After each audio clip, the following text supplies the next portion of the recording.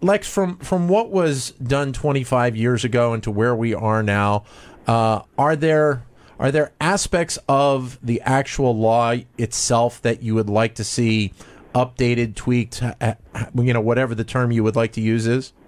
Well, actually, I think Lennard mentioned the uh, 2008 amendments to the Americans with Disabilities Act. That uh, particular set of amendments did the updating that was really needed, and uh, I think moving forward, uh, we can benefit from that. I, the law is a very good, clear piece of legislation, but frankly, so was the Civil Rights Act of 1964. Yeah. And yesterday, we uh, last year, we celebrated the 50th anniversary of that act, and there are still things to be done to remove disparities between uh, people of color and and the the other population. And the same thing can be said of um, uh, gender and and uh, sexual preference and so on. We have uh, many disparities in this country that need to be cons- concerning public policymakers, uh, community officials, and others, so that we can get to a balance where everybody can contribute. I mean, that's the key. I think is to give people who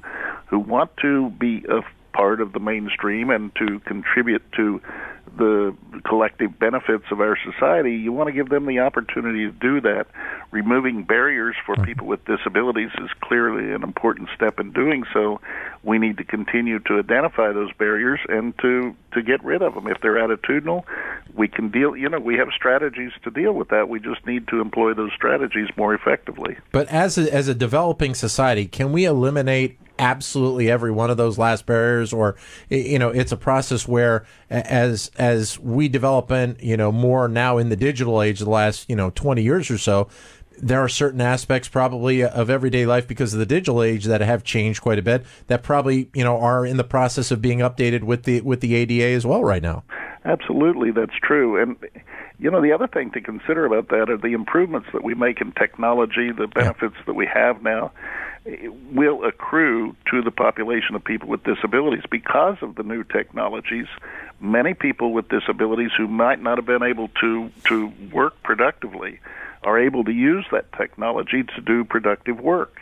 Um, the employment uh, uh, framework is changing. Many companies employ people working at home in distant places. Universities now are changing the curricula so that yeah. people don't have to sit in the classroom all of these kinds of, of changes that could be barriers to people with disabilities actually need to be used as uh, the, the, the way to get around barriers. So we, as we develop, we need to be considerate of this population. At the same time, understand that if we develop properly, this will really help to eliminate barriers. And obviously, Adam, that's something that a lot of businesses really have to take a heart at, at uh, take to heart, I should say, on a daily basis. That, that you know, if there are, in some respects, probably some companies don't think about it enough, then then they probably should. I think that's definitely true. And we, you know, there's even been in the last few months, last year or so, you know, uh, Uber has become a really big deal. There's a court sure, case yeah. about should Uber be, you know, like should they be more accommodating uh, of people with disabilities? And so, I mean, as the world changes, there, you know, these laws and regulations and how we think about them or how we think about, um, you know, customers, potential employees, they have to evolve too. Um, the interesting thing is, is, is what, as Lex mentioned, is some of the things that we're coming up with, some of these technologies can actually be enabling devices. They can yep. be things that allow people more access, different people access uh, than we've had. And if you if if you're a business, you know, if you're a firm in these kinds of businesses, and you start thinking about these different populations, what you can probably come up with are ways to serve that population that actually benefit a broader population too. Yeah. So in the process of coming up with some solution to a problem that maybe seems like it's going to be more directed towards uh, people with disabilities, then you realize, well, wait a minute, this is actually great for older people. Or, yeah. oh, you know, wait, this is great for mobile workers. Or, yeah. great, this is, you know, this is really good for you know young children or whatever that you know whatever that population is and so it's it's sort of thinking more creatively about how solutions can be applied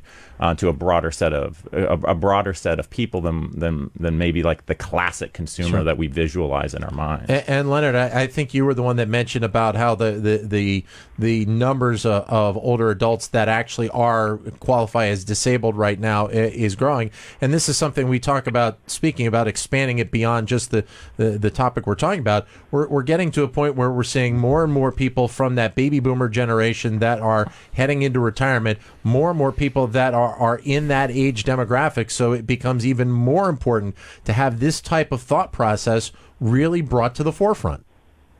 Absolutely. Um, I'm in that in that baby boomer generation, and uh, so many of my friends and colleagues are at the point where they're having hip replacements, knee replacements. It's just no one thinks of that in a weird way as a disability. And I think the important part is to think of uh, human life as containing great diversity mm-hmm. physical diversity, neurological diversity, emotional diversity, and so. Uh, w- while it's really important to to understand that there is disability, it's also important to understand that that's just part of what life is. And and I think from my my perspective, um, the more we can embrace that idea, the less it becomes less those subtle forms of discrimination uh, will have a chance to thrive. Um, 844 Wharton, 844 942 7866 is the number to, to give us a call. Lex, I'll let you finish up by, by really just playing off of, of what we were just asking uh, of Lennard about how important this is going to be going forward in the next few years. Well, it's it's definitely important if if you have a, a need for one of those disabled parking spaces in front of the grocery store or the restaurant or whatever, uh, you will find today that those spots are typically filled, whereas years ago there were always vacant spots. That indicates to me that more and more people are uh, actually qualified to use those slots. There is a little abuse, but I think the the bigger factor are the number of people who are retiring, who are becoming mobility impaired, hearing impaired, yep. vision impaired, and who need those kinds of uh, accommodations. They're not expensive to make. But uh, we have to update all those standards according to this new population. The travel industry is already ahead of us in many respects. They see the future market and I think that's the real challenge for businesses to take a look at those markets, see how they can actually be on the forefront of encouraging those people to earn money um, and to spend money, and that will help us all. Gentlemen, thank you very much for joining us for this discussion and greatly appreciate your time. Lex, Lennard, Adam, thanks for coming into the studio. Thank you all.